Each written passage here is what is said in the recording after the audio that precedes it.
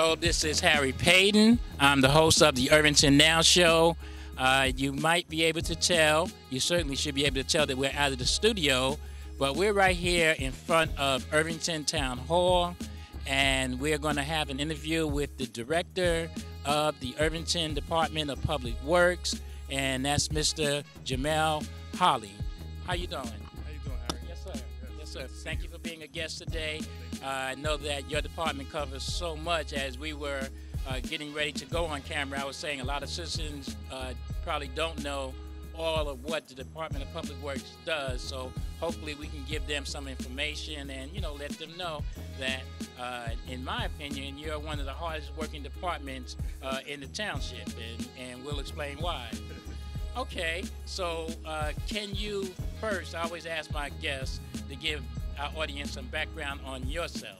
Yeah, sure. Well, Harry, first off, before I begin, I just want to just thank you for covering the township on a local level. It's so important that you know residents get a firsthand experience on what's going on in town and who's working for the town, uh, so they are, are very much aware of where their tax dollars are, are being spent on. And you've done an amazing job with capturing uh, a lot of what is going on, on here in the, in the new Irvington. And I just wanted to commend you uh, for uh, spending some time with myself and other directors and uh, throughout the township, met with business owners and uh, residents. And so I'm just grateful today that you've given me the opportunity to highlight some of the things that uh, we're doing here in the Department of Public Works under Mayor Vauss's administration.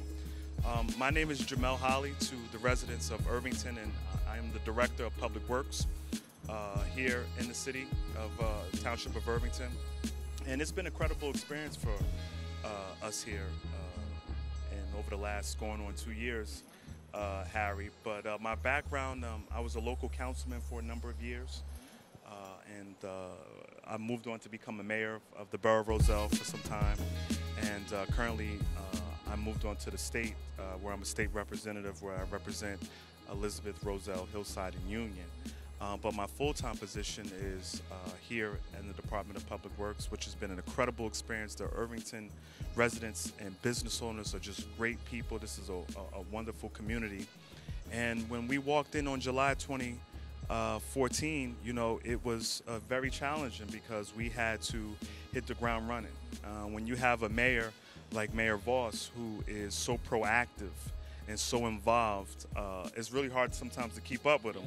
Uh, but we've been keeping up with him uh, and, and, ensuring to go along with his model with keeping Irvington safe and most importantly Irvington clean. And it's my role and my responsibility to make sure that my team, which I have an incredible team of individuals, administrators, workers, laborers, uh, professionals uh, in my department to ensure that we continue to try to keep Irvington as clean as possible. And uh, we're at this every single day uh, whether it's from the projects that we uh, we do in town, from road resurfacing to shade tree cutting, uh, to cleaning up the streets. Uh, we're at this every single day. Our, our department doesn't close.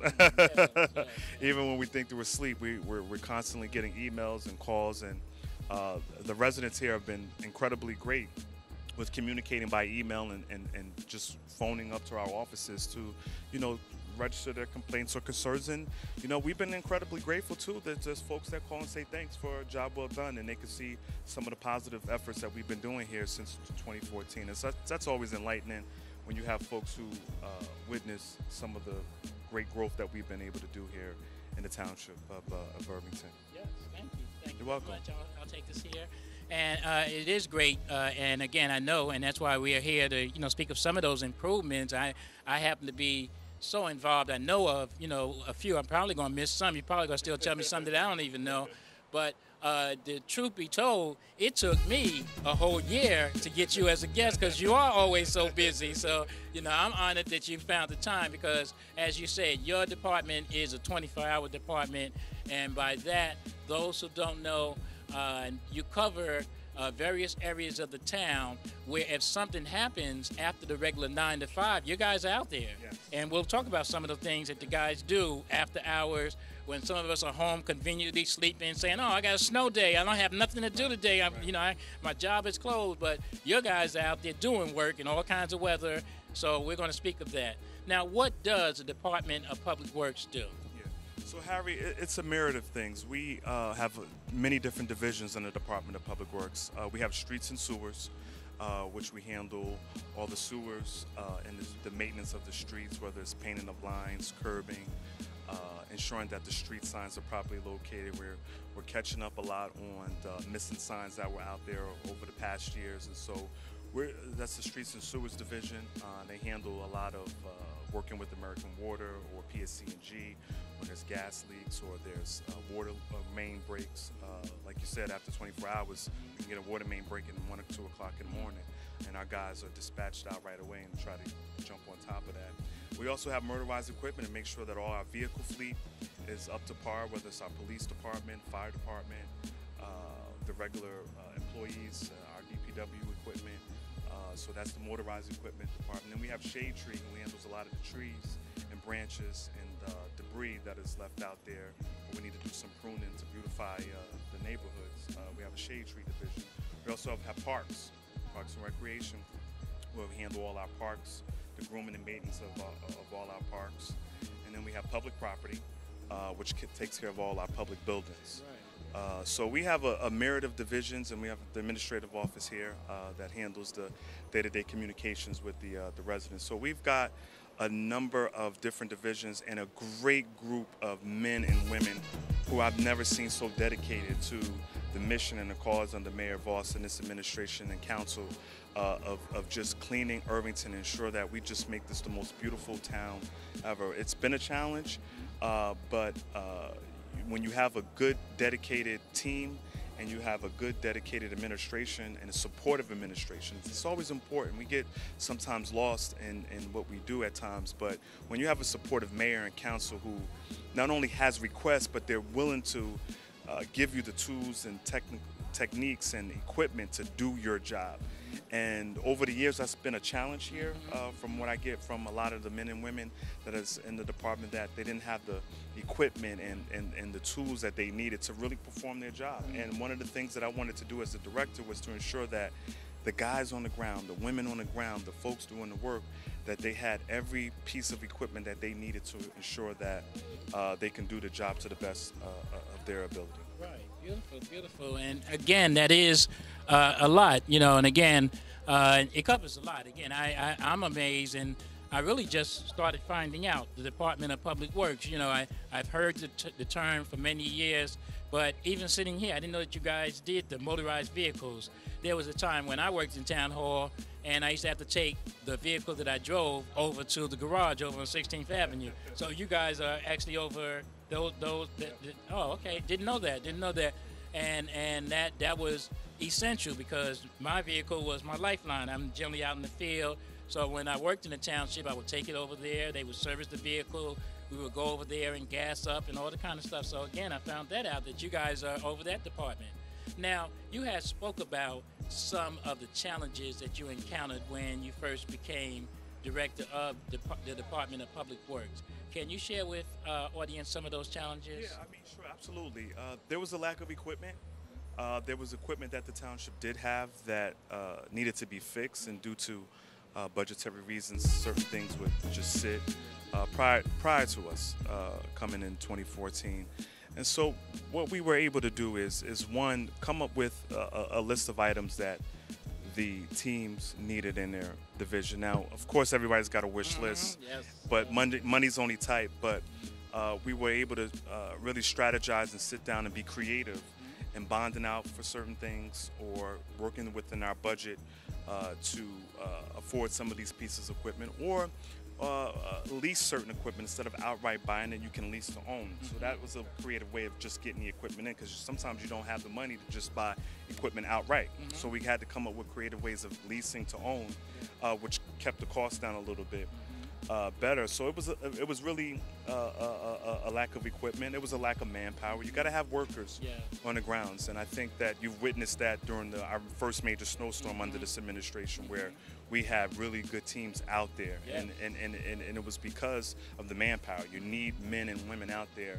Uh, working each and every day. So those were some of the challenges. And once I realized that that was some of the challenges, of course, the mayor is a hands-on mayor, came to him with the issues and uh, we addressed them and we're not where we want to be because it takes steps to get where you want to be, but we are certainly headed in the right direction with all the right things that are behind us, like the support of the mayor, the support of the council. And so uh, we've been moving Right, and right. taking it one day at a time and trying to tackle every challenge. We didn't create this in, you know, two years since we've been here, uh, almost two years since we've been here. This has been a problem for a while, but we're not looking back, and we're just looking about, we're thinking about moving forward and working towards uh, productiv- pro- Right. productivity. Right, beautiful, beautiful. Again, uh, and I know that uh, and, uh, one of the things, again, I, I've shared with my audience before. Uh, I've been in the inspection field for some 20 years, and I got my start here as an inspector for Irvington. And I know one of the challenges for many communities uh, are the abandoned buildings or buildings that are dilapid- dilapid- dilapidated, and it presented its own challenge to the administration because those buildings became not only eyesores but festers where people would uh, kind of come to at night and stay and everything. And I applaud the town under the leadership of the Honorable Mayor Tony Vauss and yourself as the Director of Public Works because you guys took on a new strategy. Uh, you bought your own equipment to knock the buildings down as opposed to like you had said getting other companies to come in where you had to pay them and their manpower per hour can you just discuss that because that was one of the innovative things that you guys did Yeah, sure. So the uh, the the abandoned uh, the demolition project with the abandoned houses is a uh, partnership between the uh, administration, Department of Housing, and uh, Department of Public Works. And uh, what we do is is that we uh, identify certain unsafe structures in the town, uh, those that are abandoned as well, and those that are eyesores. And what we do is we have a process where we identify those properties. Fire department as well goes out to figure out the unsafe structure along with the Department of Engineering. And we identify these properties and we just start to demolish them because they're eyesores and they're really not healthy for the for the community. And it is a process, and I know that uh, the residents want a lot of them knocked down, but there's so many steps that you have to take legally uh, to get on a property to see who owns it, what banks are there, who's abandoned them. You know, it's a, it takes a lot, but we've been able to identify uh, many of them. Uh, I think we've already approached uh, over 15 properties that we've uh, already demolished. There's, there's more, and we want to continue to do more. But I said, like I said before, there's a, there's a process, and uh, we're going through those. Uh, each one, uh, it takes a, uh, PSE&G and American Water to get involved so they can shut off gas and water so that there's no leaks or anywhere in the neighborhoods to keep the environment healthy. Uh, so we've been able to do that, and we've been pretty successful doing that. And uh, that was a, another aggressive um, uh, agenda item that the mayor wanted to take on very aggressively because it was it was a lot of complaints that we were receiving from the residents, and they wanted it done, and we're moving forward to, towards that.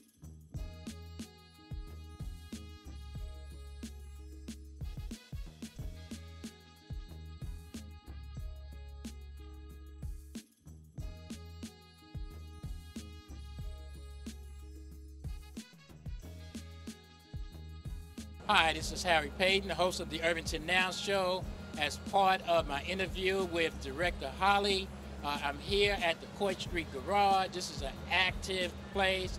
A lot of things are going on, and we're just going to try to show you. You will hear noises like traffic. You will see vehicles and workers uh, going around. But we wanted to show you some of the things that take place here that can benefit you, the residents. I'm here with Mr. Diaz, one of the hard-working uh, parts of the DPW, and he's going to talk to us about some of the things that you see behind us and how you, as a resident, can bring items here to the Coy Street Garage and how it benefits you. So, can you give us some details of what are some of these things behind you? Yes, good afternoon, everyone. Uh, my name is Edwin Diaz, Superintendent of Streets and Sewers at 406 Coy Street. That way you know the address where the drop-off is. As if you as you see behind me, we have the electronics, computers, uh, stereos, uh, anything electronic you, can drop here. Uh, Monday to Friday from 7:30 to 3:30. Also, we have Saturdays available from 8 to 12.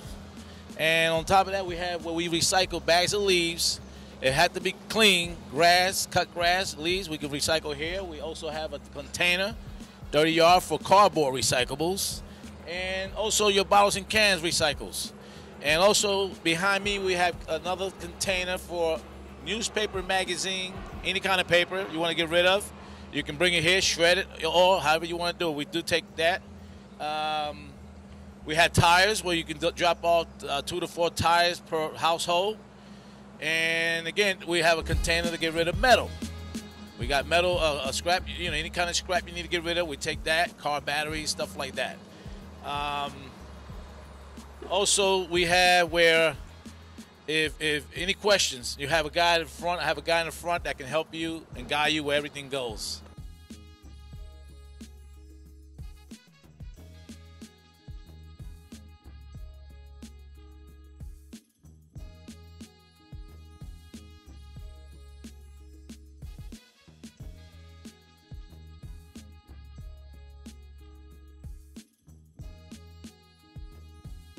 The council, the uh, administration, the directors, the police department, the fire department, uh, the library, the board of ed, the housing authority. We're all on one page, and it shows in this town because there's no arguing, no big me, little you, and, And that is important. that is that's, definitely. that's that's so important. And coming from being a, a former mayor and a, and a and a local councilman, you know, it, it takes a team effort to, you know, do what you need to do for the responsibility that you have. And when you have a, a mayor and a council and an administration and community people all working together, good things happen. And that's why you see the progress in just two short years. Everywhere I go in Irvington, folks are just talking so highly about the administration. And that's because of the team effort that we have here. And uh, I'm very just fortunate that the mayor asked me to jump on board here. Uh, I love uh, being in local government and I love uh, meeting all the wonderful residents and business owners. Irvington is a wonderful community, wonderful community. I'm blessed to work here. Thank, Thank you, you. and thank you very much, audience, for continuing to watch the Irvington Now Show.